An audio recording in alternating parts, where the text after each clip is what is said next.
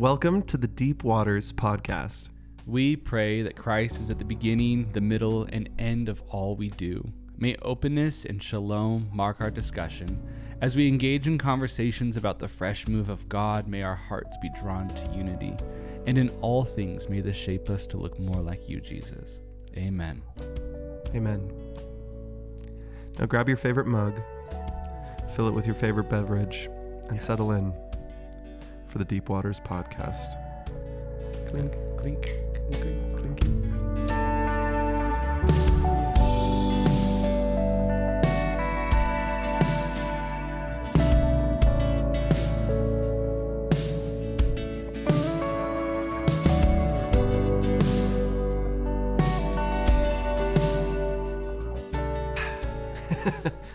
Hey, Jace. Hello. Uh, what do you want to talk about today? Um, I was thinking of the book of Nehemiah in its entirety. Should we just read it? Yes, but right. in Hebrew. Oh, I'm glad I've been practicing. Yes. um, so buckle up, everyone. Um, Get your Hebrew ears on. First, it's important for me to tell you that Nehemiah in Hebrew is pronounced Nehemiah. Really? Isn't that great? That is great. I feel like I've heard you say that just in random. Really? Yeah. That makes sense.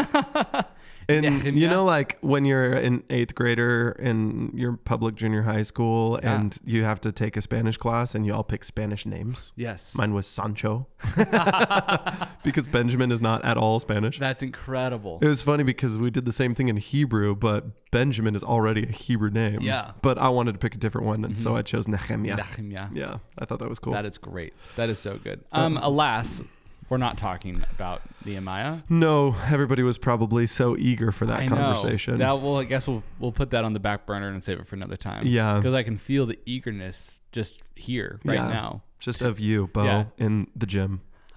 Just wishing that we were talking about Nehemiah. Bo in the gym. Yeah, I know.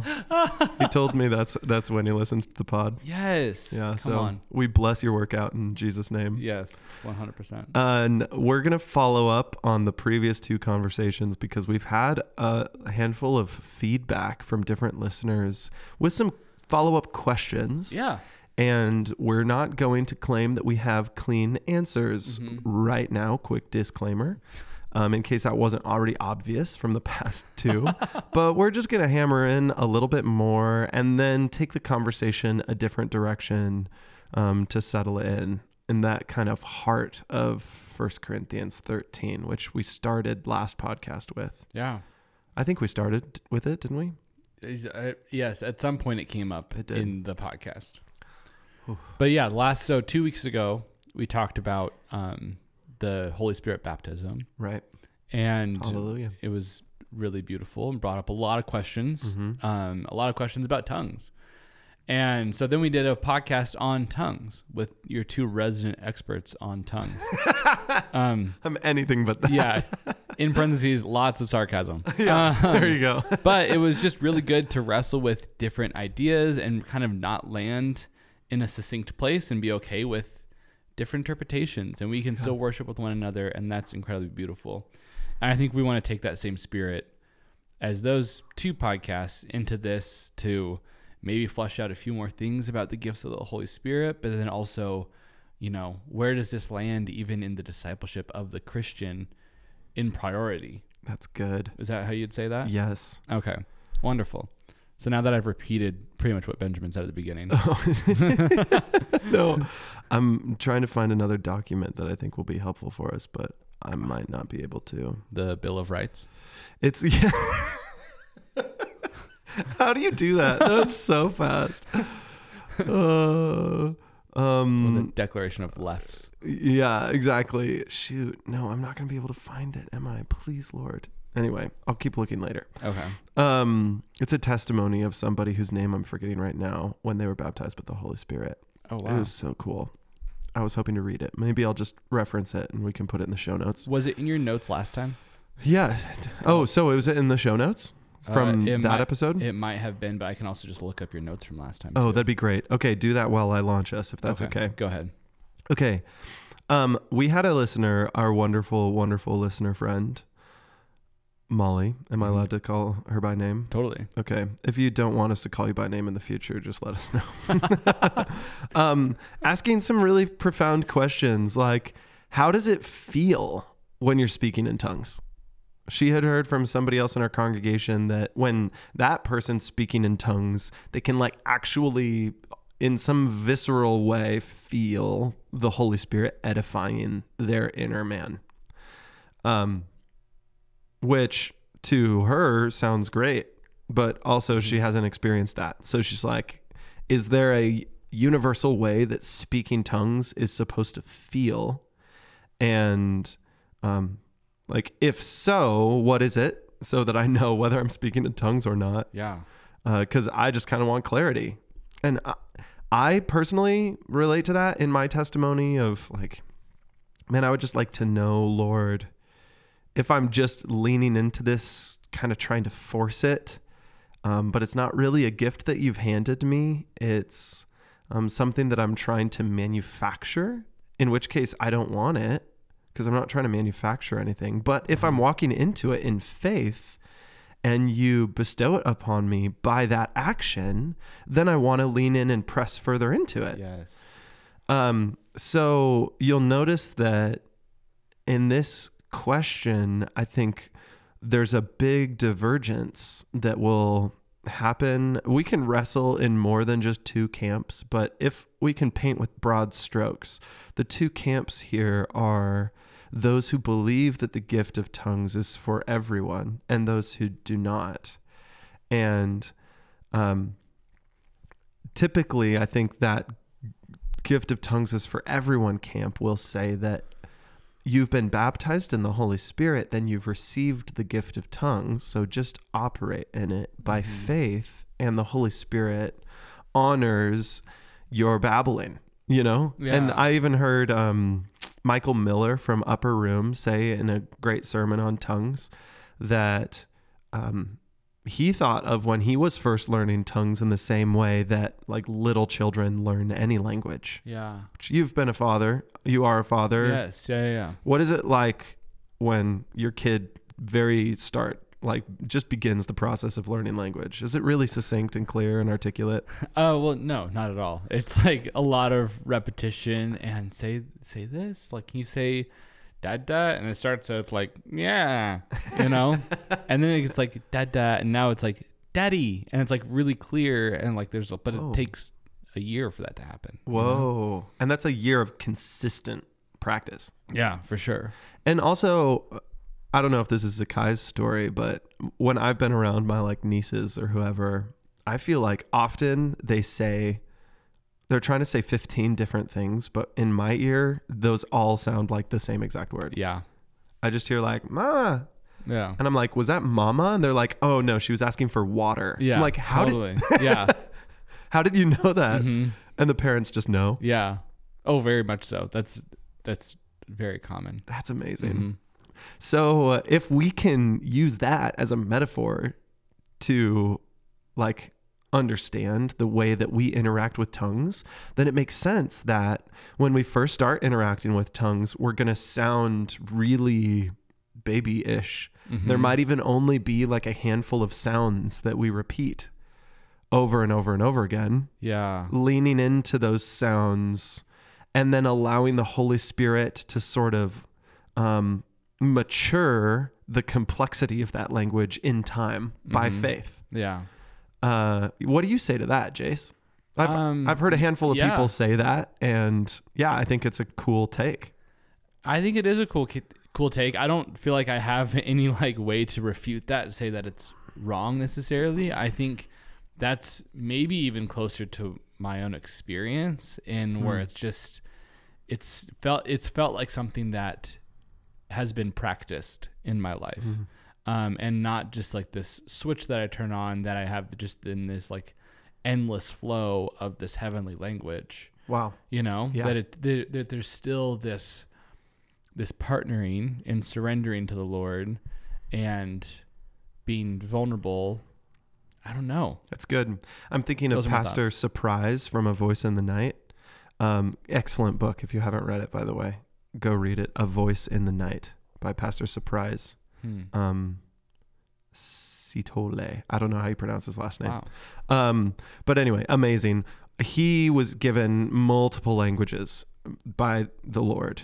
Wow. Um, he's still with us doing ministry in Mozambique, I think.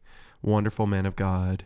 Uh, and he describes one testimony where he sits down in an interview for a Bible school that the Lord told him to go and apply for and go to. Mhm. He's from Mozambique. The language there is Portuguese, um, but he also speaks a handful of tribal languages. Um, he goes to South Africa to this Bible school and conducts the interview. Uh, if you don't know, the predominant language in South Africa is English, not Portuguese. He doesn't know English, but he goes. The Lord told him to. He conducts this interview. At the end of the interview, the guy interviewing him said, Where did you learn English? And Surprise goes, I, I still haven't learned English. and the guy's like, You've been speaking perfect English this whole interview. Whoa.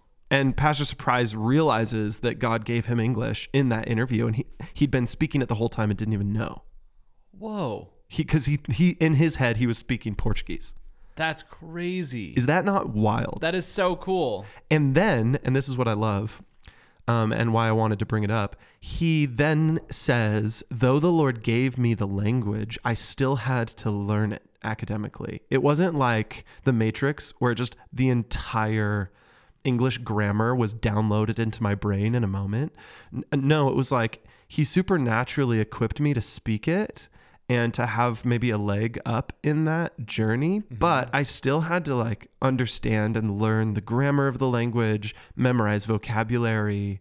Um, so there was kind of like a, a divine gifting and a partnership of his learning and work at the same time. Yeah.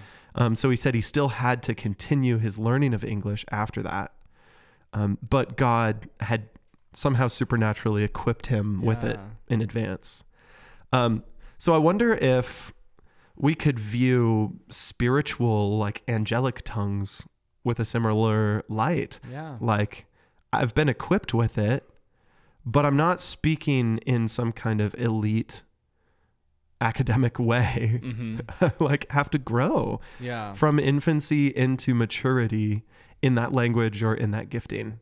I mean, you can map like that's the same map that all of discipleship to Jesus is. That's good. You know, Yeah. like with anything, Mm-hmm. um, with interpersonal skills, with um, healing of our hearts and sanctifying our sin natures. You know, it's like all that is. Yes, there's been this like breakthrough, and we have been become new creations, Hmm. but breakthrough is just the beginning in that sense. Love that. and not not the end piece Wow, the breakthrough is not the finish line. yeah the I haven't breakthrough is the- arrived. yeah you haven't arrived at breakthrough breakthrough I- is think of like breaking through a, a city wall or something if you're gonna take the city that's you good. know, which you know a little violent but like you break through if you stop Yeah. there i mean they you don't get the city like they'll just overrun you you know Yeah, like the walls of Jericho fall and the Hebrews just yay, and then they call it a day. mm-hmm No, yeah they stormed the city. yeah Yeah, which again, violent. Yeah. Is that where the word breakthrough comes from? Do you think? I don't know. I've always just thought of that analogy with breakthrough because I feel like every breakthrough in my life has then taken work to Mm, fully come to maturity. that's see, uh, that's not what I want to hear in my flesh. Yeah, I know. Because it's not microwave spirituality; it's Mhm. crockpot spirituality. You know, like I gotta lean into it. yeah. I got to practice it. Um, it's going to take time. This is a Mhm. slow burn. This is delayed gratification. This is not instantaneous Mm-hmm. stuff. And I think all too regularly, we in the church expect the way of Jesus to be a series of instantaneous blessings from heaven, Yeah. um, where we just get upgraded. God has promised us the path of discipleship that will be matured into the likeness of Christ, into the, his divine nature. Second Peter chapter one, we're going to read it later. Um, but that isn't something that just happens Yeah. in a moment, though a lot can happen in a moment for a lot of people by the Mhm. grace of God, even for the most r- radical examples of that when people were healed of all their addictions and mental illness fell away and physical illness fell away. There was still, after that, a journey of consecration and discipleship and sanctification, wouldn't you Mhm. say? In Yes. every case. I I think so in every case. Mm. I think we're given so much. We're given eternal life, but through death. Like it's not this like easy, quick thing. It's like it takes this like repeated throughout the New Testament, a dying to self constantly, a, a crucifying ourselves, which is this like constant act and not just like the one time thing. That's good.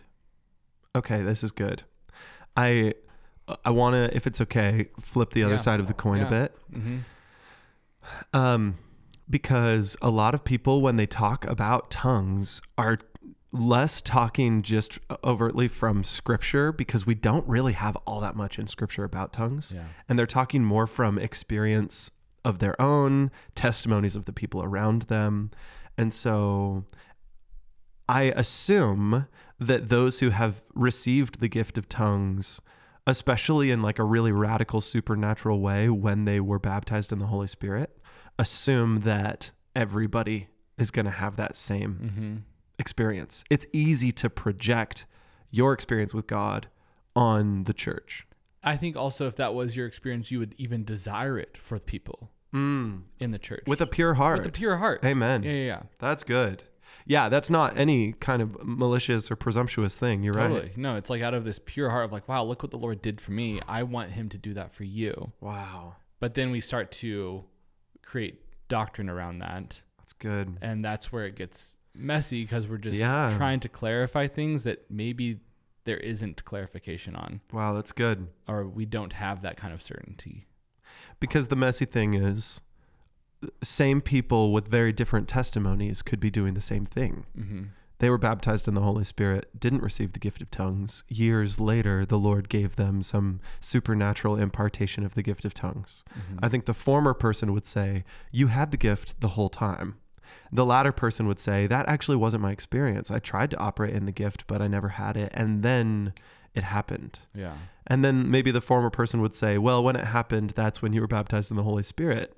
And that's, Yeah. you know, it's kind of like he, sh- he said, she said Mhm. um, with our testimonies. And so I just want to like allow space for that mess Mm-hmm. um, for us to do our best to interpret scripture as honestly and thoughtfully as possible. 1 Corinthians 12 and 14. We talked about this a lot last episode, so I'm Yeah. not going to go too in depth Mhm. there. Um, but say if if your stance is that speaking in tongues is not for everyone, then it is good according to scripture to earnestly desire the gifts. Though notice in 1 Corinthians 14, Paul says to earnestly desire the greater gifts. And he explicitly labels prophecy as a greater gift because it's a corporate um, edification, Mm-hmm. whereas tongues is an individual edification. And that's not to say that you can't be edified in your spirit in other ways than Yeah. tongues. So if a person says, Well, I want to be edified in my spirit and I haven't received tongues, how is that fair? Yeah. remember that discipleship is more holistic than that. Tongues Mhm. is not the only path to Christ likeness. Yeah, I think that we need to get rid of the the idea of maybe um, a deeper relationship with God if you speak with tongues instead of like I move away from that language and it's like a different relationship. Mm. You know, it's just a different side of connection, a different intimacy. It's not a deeper intimacy. Mm. I feel like that needs to be said. Yeah. Um, yeah. In a conversation we were having with our wonderful Molly yesterday, it came to my mind to mention the deepest intimacy I've experienced with the Lord has been in my greatest grief and suffering. hmm. And I don't like go around praying despair on people around Yeah. me so that they can encounter the intimacy of the cross in their visceral life, you know? Mm-hmm. Cuz it was it was miserable, simultaneously miserable and completely glorious because of the nearness of God. Wow, Um that's beautiful. but also like I don't want to just quantify intimacy with God. Yeah, We all have different experiences. exactly. And maybe for someone, they experienced a greater depth of intimacy as far as their testimony is concerned when they received the gift of tongues. And I praise the Lord for that. Mm-hmm. And other people are experiencing way greater depths of intimacy as they study scripture intently. So lean in. Yeah. You know what I mean? Mhm. I, I don't want to uh, oversimplify the spiritual walk, reducing it to only the gifts of the Holy Spirit are the way that we measure our maturity in the Lord. Yeah. Um, I think that can be really dangerous and lead to a lot of comparison and insecurity amongst us. Absolutely. And I would say, to your point, it's kind of unbiblical when it talks about what maturity looks like Hmm. in Scripture. It doesn't necessarily quantify spiritual gifts with maturity as it does other, you know, uh, measures of character and the fruits of the Spirit. That's good. Do you want to get into that, or is it not? Sounds not fun. yet. I mean, I actually had a couple other questions. Okay. Is it okay if we get Yeah, to that yeah, in a second? yeah. hmm I also would be remiss if I said to earnestly seek the gift of tongues without saying earnestly seek the gift of interpretation because Mhm. that's very clear. Yeah. We said that last episode, but I just want to say that again. Um, because our culture, church culture in general, doesn't do a good job seeking interpretation Mhm. of tongues. Um, but I want to personally do a better job praying for that myself. Um, okay. I didn't really answer a lot of these questions, but I think that was helpful. No. Um, did you ever find that testimony that I was I trying to search for? Yeah.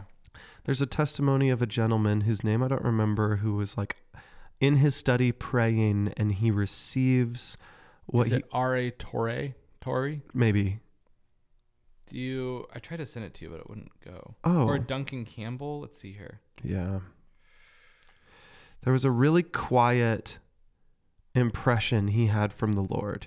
He said, like, it's irresponsible for me to continue going on preaching without having received the baptism of the Holy Spirit. I found it. Do you want me to read it? yeah, please. I think it is the R. A. Torrey. yeah, I have no idea who this is, by the way. So do your own research. But I found this testimony and it blessed me a lot. I had been a minister for some years before I came to the place where I saw that I had no right to preach until I was definitely baptized with the Holy Spirit.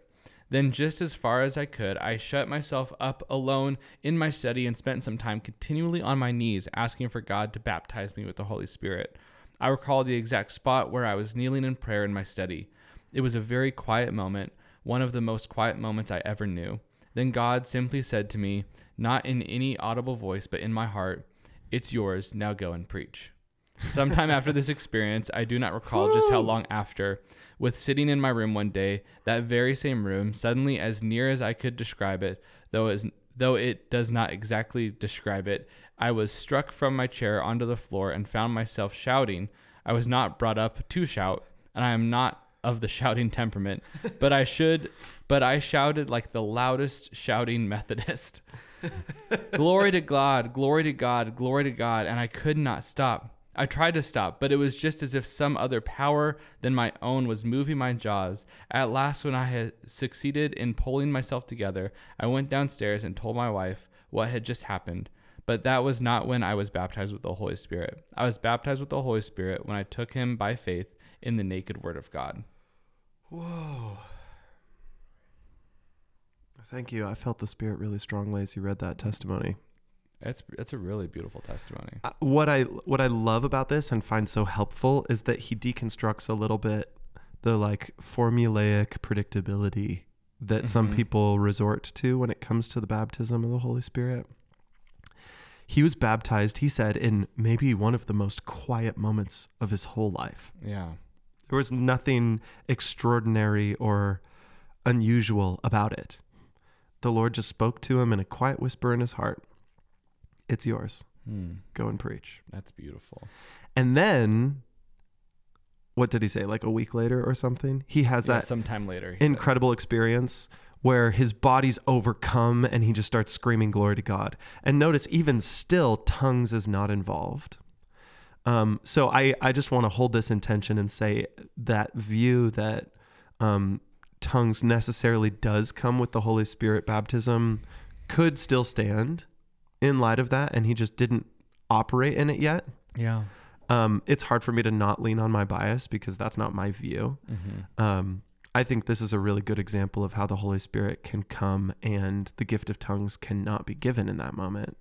Um, but other gifts are, Mm-hmm. and that's okay. Yeah. Um, and that's not to say that he shouldn't seek the gift of tongues. But if he seeks the gift of tongues his whole life and the Lord never gives it to him, his heart should be content in that, I Yeah. think. Mm-hmm. Um, because Say that. God God is good and I trust him to give good gifts when we're ready for them Mhm. and to withhold gifts um, if he has reason to. Mm-hmm.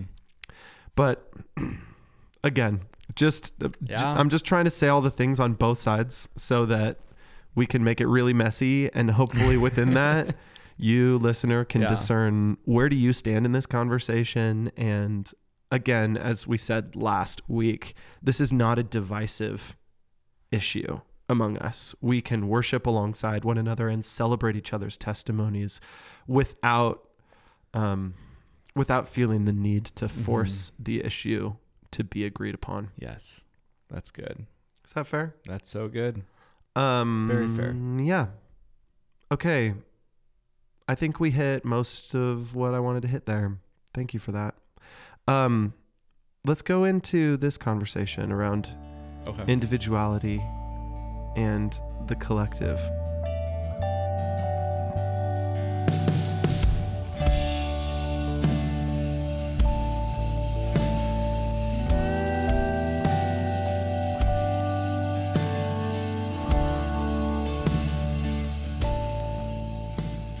more nuggets of wisdom that came out of the terrific Molly um, were if I'm earnestly seeking the gifts of God, um, could it be possible for me to find myself in some kind of independence where I'm seeking because I want to be the fulfillment of prophecy and healing and tongues and so on and so forth mm-hmm. in my own midst. Yeah. like I want to be the one-stop shop for church.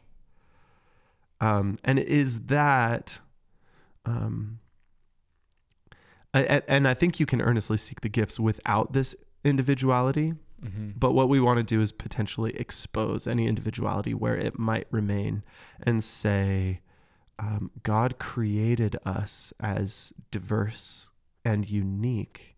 And in one of the primary chapters about the gifts of the Holy Spirit, Paul in 1 Corinthians 12 uses the metaphor about the body of Christ in order to accentuate the diversity of us and how we need one another in our diversity because who we are collectively is the body of Christ, not who I am individually Yeah. is the body of Christ. Mm-hmm. And if we're not seeing the gifts through that lens, we're missing it. That's so good.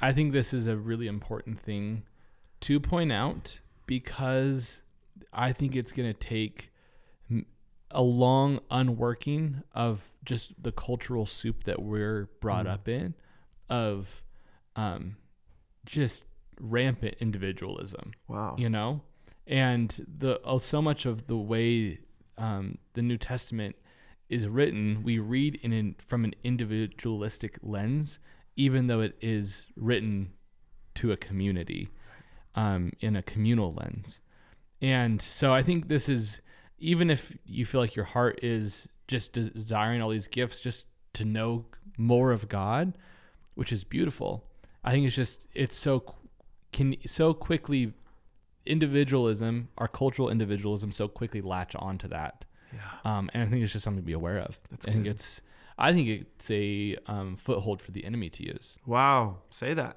So I think that's that's the need for even just awareness of this is like, it's that's a slowly. Um, I think lies can be brought into um, those desires of like you don't need them or you need what they have or wow they're more intimate than you because of this and just like comparison creeps in Mm. um, isolation creeps in and those are not of the kingdom of Wow. god whatsoever Amen. Amen.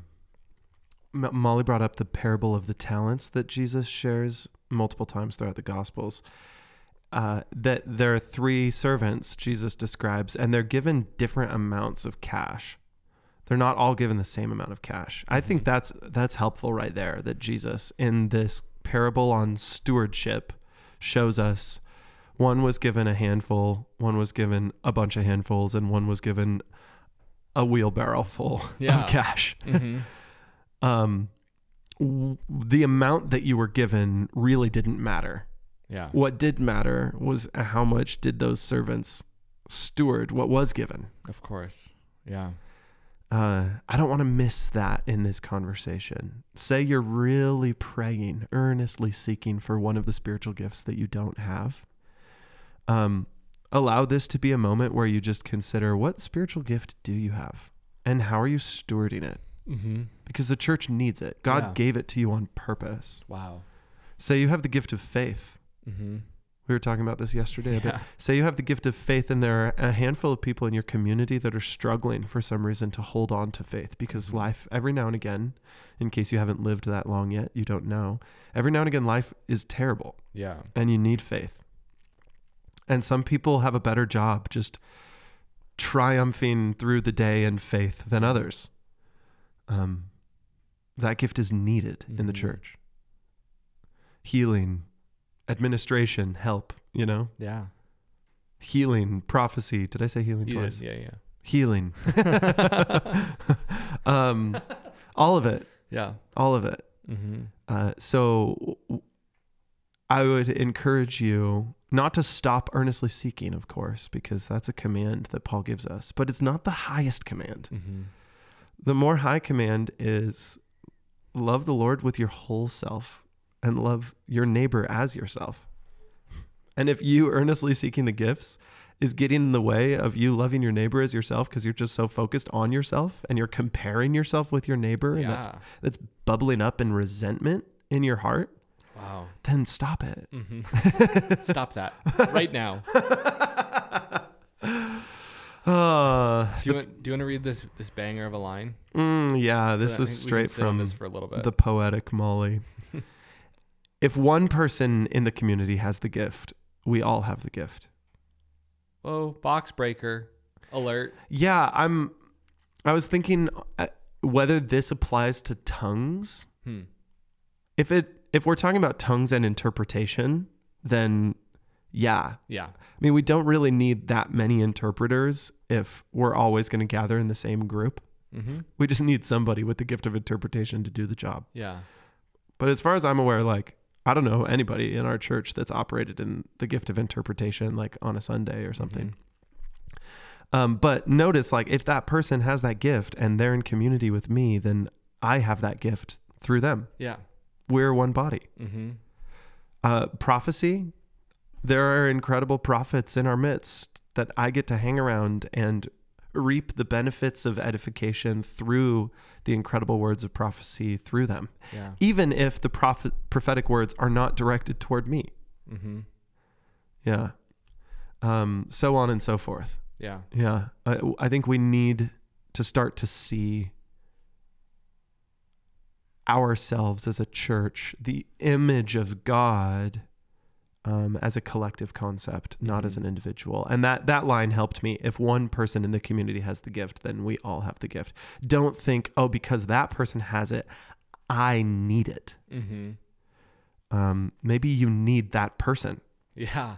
Come on. And God's trying to encourage you into relationship with that person. wow, that's so good. And if you're like, no, no, no, no, because that person kind of offends me and we think really differently about eschatology or whatever, Mhm.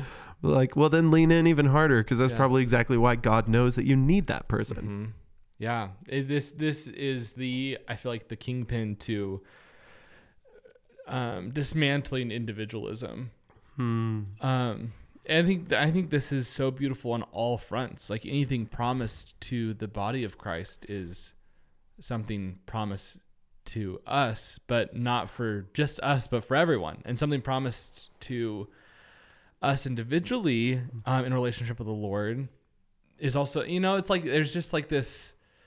Yeah, I'm, I don't know. Communal is like the the word I'm trying to get away from because we've already said it a bunch of times, but collective glory in the bride of Christ Whoa. that we don't view often. I love that whole idea, like you just said, of Mhm. well, we we need each other, And so there's a range of gifts that make up the body of Christ.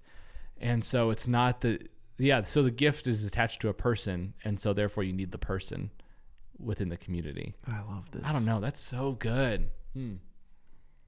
Sorry, that was just some verbal processing. No, that was perfect. it's reminding me of First Peter four.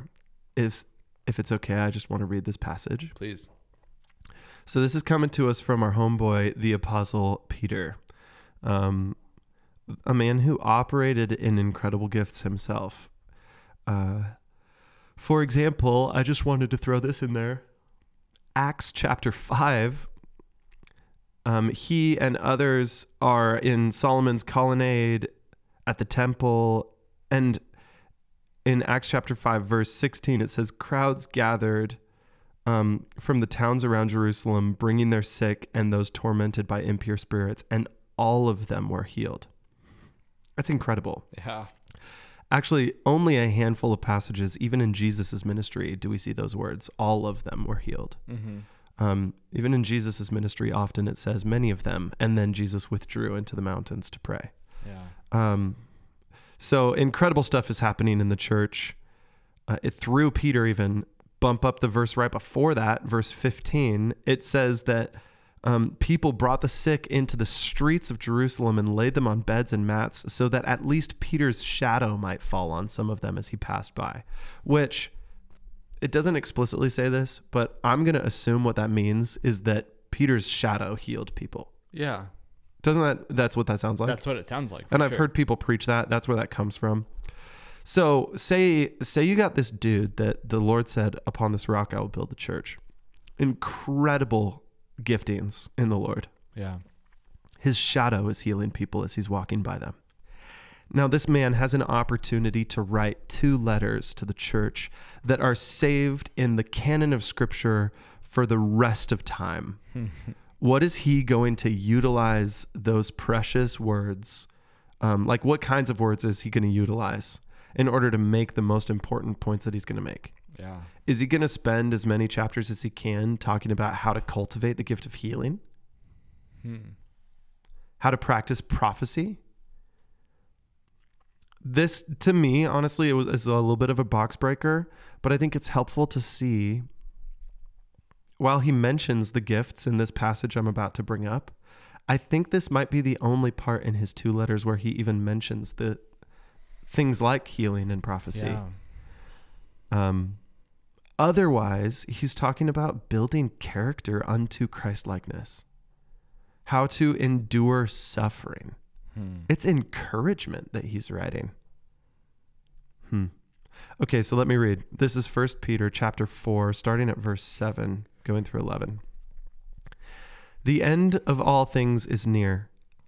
Therefore, be alert and of sober mind so that you may pray. There's the importance of prayer. Mm-hmm. Above all, love each other deeply because love covers over a multitude of sins. Offer hospitality to one another without grumbling. Okay, honestly, we're getting a lot here that we could unpack. That's like the great commandment love each other deeply because it covers a multitude of sins. There's a reference to the pure life, the moral, excellent life away from sinfulness. Offer hospitality. So, like, live life with one another with open arms, open houses, without grumbling. Don't gossip. Don't slander one another. Don't complain about each other. Have hospitable hearts. Each of you should use whatever gift you have received to serve others as faithful stewards of God's grace in its various forms. Mm. That says a bunch of the things that we just Yeah. said earlier, right? Mm-hmm. Each of you should use whatever gift you have received. So, whatever God has chosen to give you, whatever that might be, it might be different than what your neighbor got, might be different than everybody else in your church. But whatever gift you have received, use them to serve others. Because the way that God has blessed you is not for your sake, but it's for the sake of those that you might serve. Mm-hmm. As faithful stewards of God's grace in its various forms. There's stewards, stewardship, the parable of the talents. Yeah. That that theme is woven throughout all of scripture. Focusing on what you have have been given in your hands and not what you don't have. And like let that just be your sole Amen. even stewardship of like I want to take whatever gift I have and make it the best possible. That's good. So studying scripture about it, pra- obviously, I mean, practicing it is the biggest thing. Amen. Putting it to use. Yeah. If it's, yeah, if it's whatever, hospitality, if it's faith, if it's um, prayer, intercession, Yeah. you know, like Yeah. do that, like become a master of that, and let it become a master of you, kind of a thing. Because the church needs it. Mm-hmm. God gave you that Yeah. gift because the church needs it. yeah, I'll keep reading just a little bit more. please do. If anyone speaks, they should do so as one who speaks the very words of God. And I don't think that's just speaking of prophecy. I think that's talking about just talking in general. Mm-hmm. Whatever comes out of our tongue, may it be like the words of God, honoring, encouraging, upbuilding, so on. If anyone serves, they should do so with the strength God provides, so that in all things God may be praised through Jesus Christ. Notice in all of this, there's not some kind of a divide. This is another cultural thing that we have to do. There's not a divide between the things of Christianity that are spiritual and then the just the natural things of Christianity. Yes, You know, like, oh, my labor against sin, that's just kind of like a natural thing. That's my willpower. I'm trying to like read Atomic Habits because James Clear is my discipler and he's going to teach me how to like, you know, f- get out of bad sin habits and Mhm. build a healthy life of discipleship. That's a natural thing. Yeah. But if I'm speaking in tongues, whoo, or if there's healing, if like, who knows? If there's gold dust in the room, like Yeah. that's the supernatural stuff. That's where Mhm. God is involved. But God's not involved when I'm like trying to just remain peaceful in traffic. yeah. You know how we have a Yeah. tendency to divide those things? Mm-hmm. Oh, Th- for sure. That divorce is unbiblical. And I just want to call that that Yeah. way um, because it's a cultural thing that is the soup that we swim in. And we need, in every way possible, to disciple our minds to remember that we, as image bearers of God, renewed by the blood of Christ, with the Holy Spirit dwelling inside of us and filling us to the brim with his goodness, has made us his living temple on earth today. God is incarnate in the world in us, his church. Mm. That right there is the most supernatural thing. God is sustaining our very existence by his love and life. Mm. So good. Nature is not something that he's stepped away from. That's an enlightenment idea. So we need to reclaim this concept that in fact everything is spiritual. Mm. And you see it in scripture all over the place, like right here. You should serve with the strength that God provides. Any strength that you have inside of you, it's not because of you, it's because of God in you. Mm-hmm. Um, and I think if we do a good job of remembering that everything is spiritual, then you'll remember that tongues isn't something that's just super special because it's my only opportunity to encounter God. No, when you practice joy when life is hard, that's encountering Hmm. the presence of God in your life. Yeah. Oh, for sure. That's leaning into one of the fruit of the spirit. I think that's where where I want to shine the spotlight for most of the rest of this conversation is that we we have a tendency to hyper fixate in the charismatic church on the gifts of the Holy Spirit. Um not intentionally, I don't think, but to the detriment of our practice of the fruit of the Holy Spirit. Yeah. Mhm. Come on. Say that. I think we assume that too often, at least I, I'll just confess it, too often I passively take the back seat thinking if I pursue a really meaningful worship moment on a Sunday and I get super emotional, I'm praying in tongues, I'm connected to God in that space, then the fruit of the Spirit will just come out of me. Hmm. And what's tricky about that is that that is like half true. Yeah. Galatians 5 calls them the fruit of the Spirit, not the fruit of your work. So it is God. Yeah. But in Galatians 5, right after the list of the fruit of the Spirit love, joy, peace, patience, gentleness, kindness, goodness, faithfulness, gentleness, self control. You crushed it. Yeah. Beautiful. I never learned the song. I never knew. I don't think I know a song either. Oh, really? Yeah. I know some. Maybe it's our youth that Oh, know okay. a song.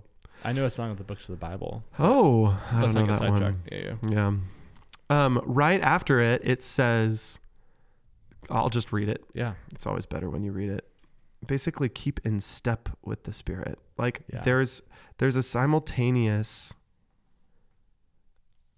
power of God in you and agency that you retain, and you have to choose to partner with God.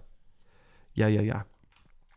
But the fruit of the Spirit love, joy, peace, patience, kindness, goodness, faithfulness, gentleness, self control. Against such things there is no law. Now, those who belong to Christ Jesus have crucified the flesh with its passions and desires. And this is it right here. Verse 25. If we live by the Spirit, let us also walk by the Spirit. Let us not become boastful, challenging one another, envying one another. Hmm. So he doesn't say take a passive back seat to the spirit's work inside your spirit, Yeah. you know? He says like walk in it. Get up and do it with the spirit. Mm-hmm. The picture that I like that has helped me with this is the the idea of gardening because it's the fruit of the spirit. Yeah. So if fruit is coming, I'm not the energy that's creating fruit out of trees. I've Oh. never never done that. Yeah. Have you? I haven't. No. No. I've tried, but didn't work. but I have pulled weeds. mm-hmm. I have watered gardens before. I used to work on an organic farm. Yeah.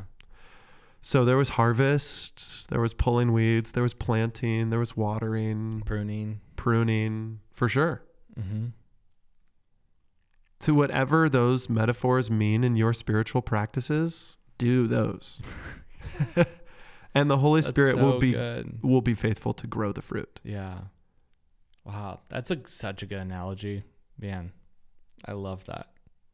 Hmm. Yeah, I think honestly, I think that's why Paul uses the word fruit of the Holy Spirit because that has been biblically the picture of this simultaneous partnership of God and humans to have his will done on earth even in our own character. Mm-hmm. Sorry, I've been talking a lot. I You can tell I'm passionate. I love it. I'm just enjoying it. It's all good. Praise God. So, yeah, I mean, read the book of James and see how, uh, like, if all you're doing is earnestly seeking the gifts of the Holy Spirit, see how James is interacting with the path of discipleship. Mm-hmm. Or John in First John, you know, he's like, "You tell me that you love the Lord. Great. Do you love your neighbor? Any of you who hates your brother, but says you love God, is a liar." Hmm. because you can't hate your neighbor and love God. Yeah. I don't think we audit ourselves with questions like that often enough. Totally. Yeah. You know, like like is there health in your internal family structure? My guess is it's probably messy because humans are messy. Mm-hmm. Have you worked diligently by the grace of God to work on that? Mm-hmm. To like to find peace with those that you've had trouble finding peace with. If not, but you've been slain in the spirit every Sunday for the past year, then what's the fruit of being slain? Yeah. Jesus is not talking about the person who is slain the most. They're the one that will enter the kingdom of God. Totally. You know, he says, when you were out there and you saw me when I was hungry, you fed me. You saw me when I was naked, you clothed me. And they're like, Lord, when when did we do that? He says, What you've done to the least of these, my brothers, so you've done to me. Mm. That's character development. Yeah. That's generosity, Stewardship. stewardship. And I'm just telling you, as much as we focus on the gifts, which we should to some degree, Yeah. It says earnestly seek the gifts. That's And- also in scripture. hallelujah. Yeah. And I, I, I'll be honest. I'm earnestly seeking the gift of healing, and I'm like praying for people to be healed. Yeah. And I've seen a handful of things that feel like miraculous healings that, that no, in faith, I'm going to say that are miraculous healings. Mm-hmm. And I praise God. Yeah. and I'm seeking that gift more all the time. mm-hmm. So, like, don't hear what I'm not saying. Yeah. Of course. And the New Testament, the words of Jesus, the apostles, are way more highlighting character development by the grace of God Mm-hmm. because the Holy Spirit is inside you, trying to work you into the image of Christ. This is so good. If I don't have my eyes on that, then I am missing it. Mhm. That's why Paul says, 1 Corinthians 13, if I speak with all the tongues of men and of angels, but do not have love, then I'm just a noisy gong and a clanging cymbal. Yeah. Which isn't him saying it's just gibberish, because it's all the tongues of men and of angels. Mm-hmm. But your heart's not in the right place, then those words don't mean what they could. It's just noise. Mm.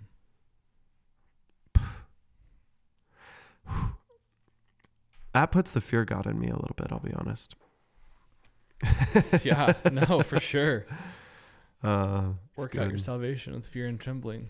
Oh yeah, I did write that one down. Philippians two. Is that what we decided? yes. Where is it? Oh, there it is.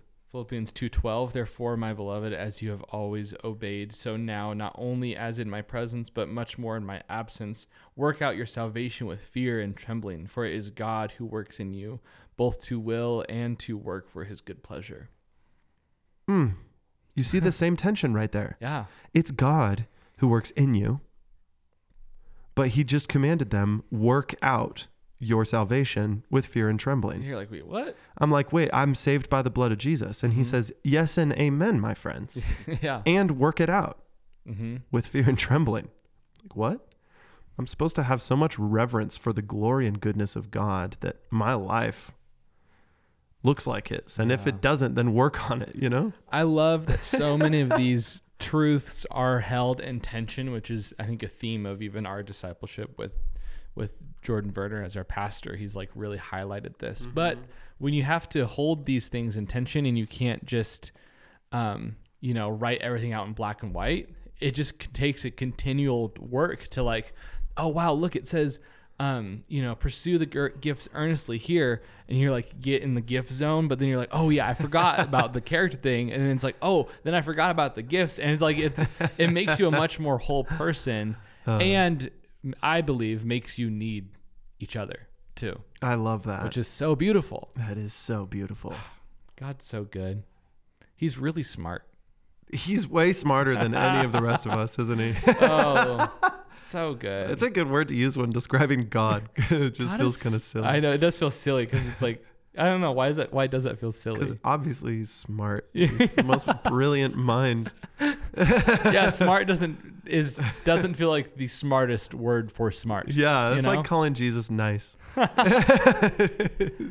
He's just the most loving being in all of existence. He is love. Yeah. Oh, praise the Um, Lord. Yeah. Do you feel like there's anything else that you want to uh, share? Get off your chest.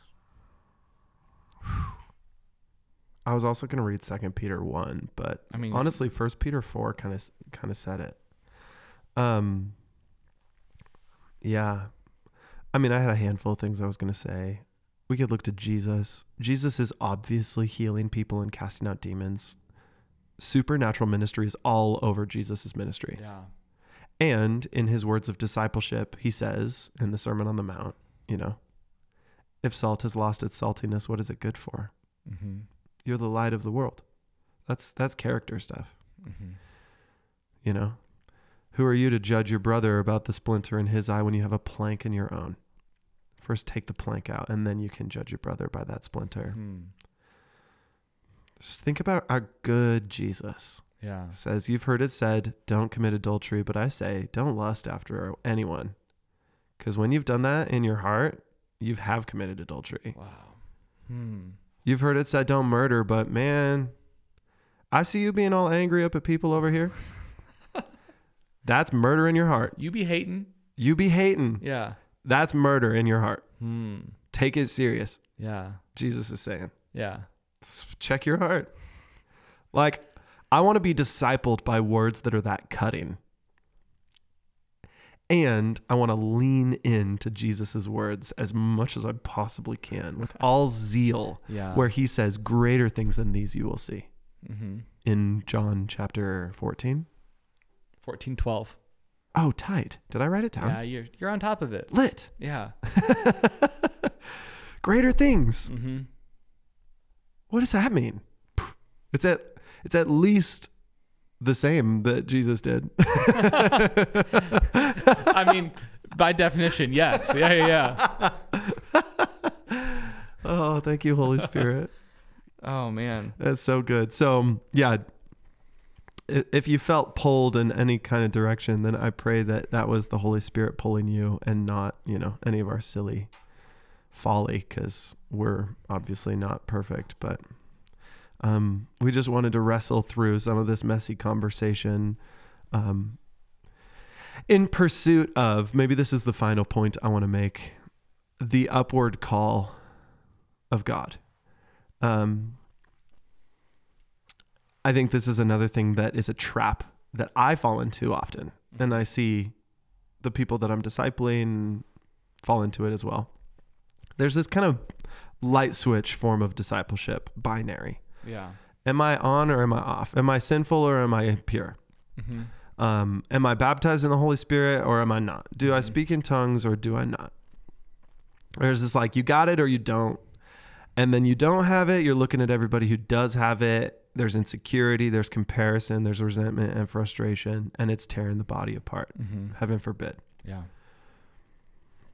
I don't want to look at discipleship like that. Paul says in 2 Corinthians 3 that we, with unveiled face, Mm. behold the glory of God and are being brought from one degree of glory to the next. Wow. There is no height or depth or length or width of God's glory that we will ever reach the end of.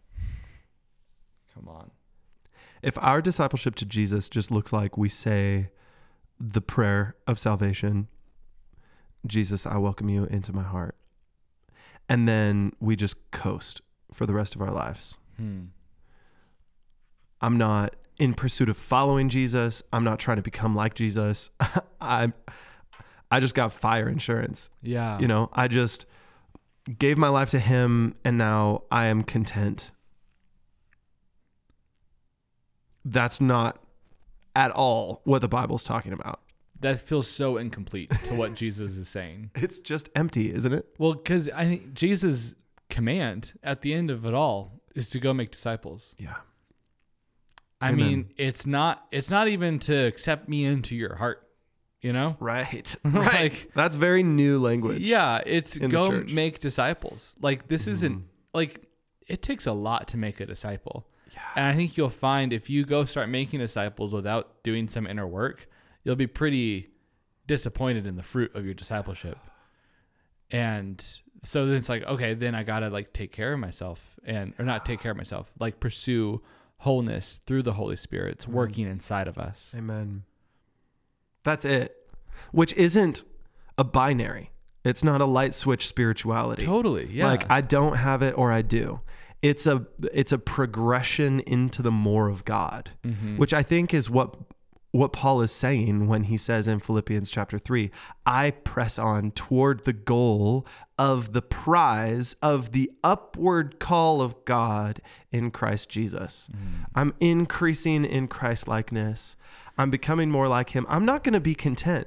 Even if like like what? Say somebody doesn't have a gift that they've been earnestly praying for and then they receive it. Like what is the rest of their life of discipleship going to look like? Can you coast at that point? And like don't hear what I'm not saying. I don't want to be legalistic. I don't want to be um I don't want to be the kind of Christian that says you need to prove yourself to God. You need to earn his love. You need Yeah, to earn no. your salvation. That's not what I'm saying. What I'm saying is, speaking for myself, I want to pursue more and more of the person that God created me to be and that Christ has called me to be. And that will be a lifelong journey of pursuit of the upward call of God. Mm-hmm. That won't be like, I've got it. Now let me just hold on to it as long as I can, but never like proceed into more Christ likeness because I have attained it. No, I, I think this side of heaven, we will never attain it. Mm-hmm. So, so I'm running Hmm. and I'm running this race with endurance with my eyes fixed on Jesus, the author and perfecter of my faith. Interesting. Again, there, notice the work of God and my work happening in the same mix. Mm-hmm. That's a that's an upward call. So whether it comes to your relationship with tongues, your relationship with prophecy, another spiritual gift, your relationship with the fruit of the spirit, say you're just not a very patient person and you know that about yourself. Don't just settle. Yeah. Don't This is- coast. This is how I am. Yeah, uh, I just, for me, I don't know. This is a petty example, but I would regularly tell people that I'm bad with names. And then that just becomes like a cop out to not learn people's names. Mm-hmm. You know what I mean? Yeah. So good. And then there was a day when I was like, "Ah, screw that. I'm not bad with names. I'm going to become good with names. Mm-hmm. And I still struggle at Yeah. times, but I'm getting better because people's names matter because people matter. Absolutely.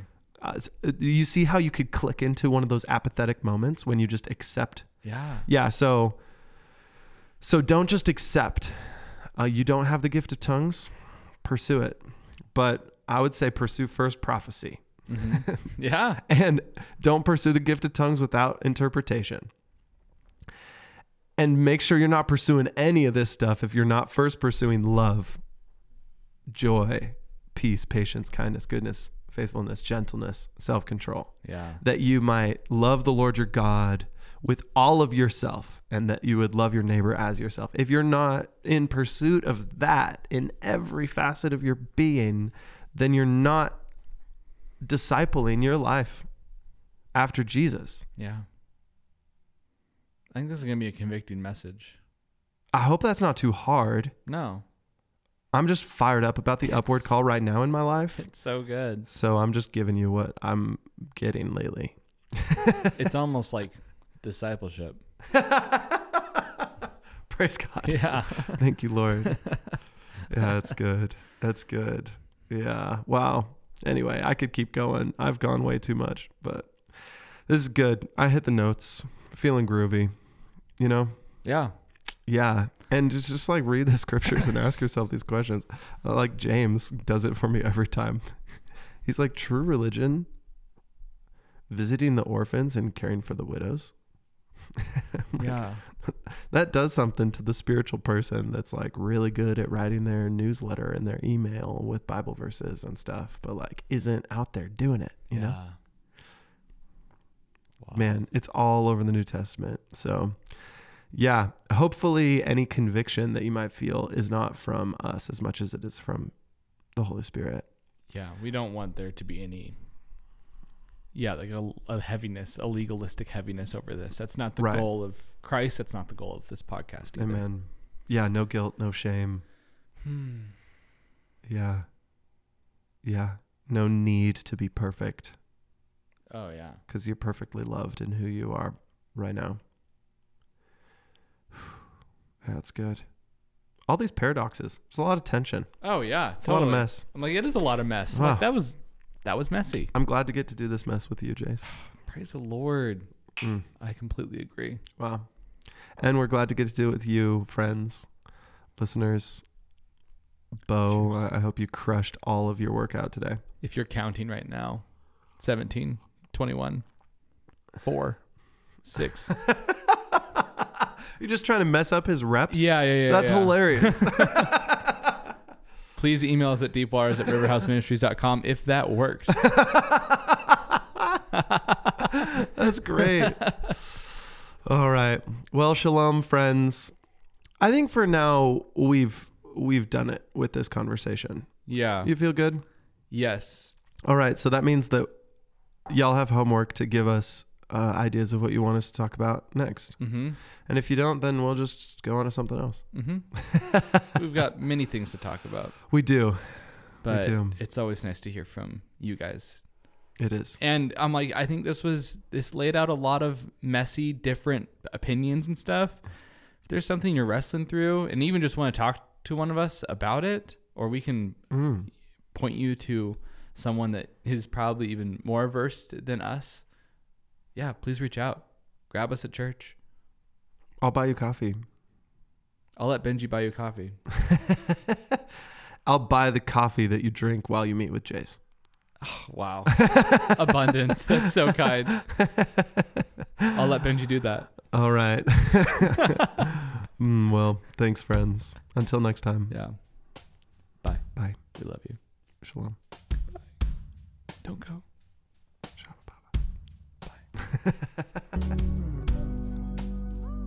Thank you so much for listening to the Deep Waters podcast. If you have comments, questions, or concerns, maybe even a recipe or two, please send them to deepwaters at riverhouseministries.com. And if you would like to join us at Riverhouse for Sunday service, we meet at the Vineyard Boise at 4 p.m. We'd love to see you there. We could not do this podcast without a little help from our friends. Our theme music was written and recorded by the Riverhouse worship team. Production is done by Jordan Soderman. Special thanks to Isaiah Guerrero for our artwork. Benjamin Olson writes and co hosts with me, Jace Langley, and I also edit this bad boy. If you like this podcast and want to keep going on this journey of discipleship with us, please leave us a review wherever you listen to the Deep Waters podcast. May Christ be with you wherever you go.